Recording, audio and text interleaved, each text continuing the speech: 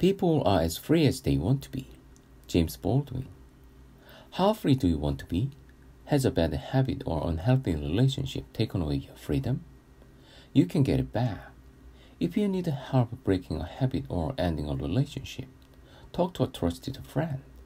But mostly, believe in yourself. You know you can make it on your own.